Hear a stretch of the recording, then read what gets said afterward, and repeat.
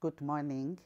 My name is Dr. Stella Khumalo. I'm the Acting Director General at the National Department of Sport, Arts and Culture. We are talking to you from South Africa, the home of the late former President Nelson Mandela and Mama Winnie Mandela. And we are honored to convey this short message of support and best wishes on the occasion of the International Reggae Day. We want to single out these two struggle heroes and liberation fighters because the story of their lives is intertwined with the story of the International Reggae Day, as told by the founders of the International Reggae Day themselves. This important day was inspired about 33 years ago when Mama Winnie and Tata Nelson Mandela visited Jamaica in July 1991. Addressing a gathering of women hosted by the then Minister Portia Simpson, Mama Winnie reportedly spoke very passionately about the power of reggae music and the role it played in the fight against white minority rule and racial oppression in South Africa. These profound words went on to plant a seed which later germinated into, into what is known today is the International Reggae Day, celebrated on the 1st July of each year. Interestingly, it was on this day, 1st July in 2008, when the then US President George W. Bush signed a bill taking Nelson Mandela off the US terrorist watch list, something which signifies a restorative act of justice. The 1st of July is also the beginning of July month, a month in which Nelson Mandela was born on the 18th of July 1918. As we may know, in 2009, the UN General Assembly designated the 18th of July as Nelson Mandela International Day, a day on which the world recognizes and celebrates values of service to humanity and promotion of a culture of peace throughout the world.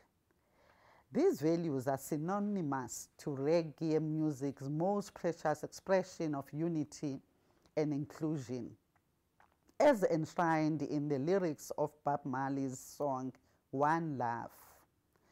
Today, as the world celebrates 30 years of International Reggae Day, South Africans too are celebrating 30 years of democracy. A democracy on the 27th of April 1994, when for the first time ever, all South Africans were afforded the basic right to vote for a government of their choice. Of course, no one can tell the story of South Africa's long walk to freedom better than the reggae community. After all, over the years, the reggae community has spoken extensively against apartheid system and produced many songs in its condemnation.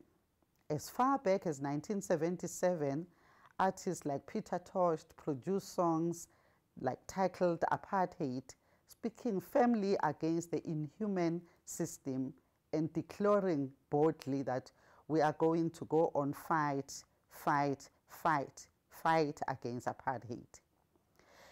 It therefore no surprise that 28 April 2023, the state president of South Africa, His Excellency Cyril Ramaphosa, conferred to the legendary Peter Tosh a posthumous award of the Order of Companion of Oliver Reginald Tambo for his contribution to the fight against apartheid a highest national honor awarded to friend, for friendship shown to South Africa and its people. It is pleasing that this honor to the late Peter Tosh was awarded in a free, democratic and prosperous South Africa, where Rastafarism, both as a religion and as culture, is loved, respected and appreciated. After all, South Africa itself is home to some of the most accomplished reggae artists of our times, such as Lucky Dube, O'Yaba, Dr. Victor, and the Rasta Rebels, Colbert Mukwevho, and many others. As you commence your plethora of activities in celebration of International Reggae Day, please know that you are not alone. Multitudes of South Africans are with you. We join you in this celebration not only because we love the Caribbean sounds of reggae, but also because as South Africans, we owe our liberation, our freedom, and our democracy to reggae music and its role in our struggle for freedom. As we conclude, we would like to express our gratitude to the city of Miramar and the Council General Oliver Moore for bestowing the International Reggae Day Winnie Mandela Humanitarian Award to our mother, the legendary Rita Marley. Her receipt of this award is not only an honor to her as an individual, but is also a recognition to many other women who continue to uplift our world and make it a better place for our children and generations to come. May the Almighty God be with you as you celebrate the 30th anniversary of the International Reggae Day.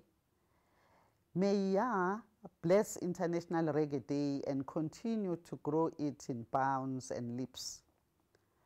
From the motherland of Africa and the beautiful nation of South Africa, we say, one love. I thank you.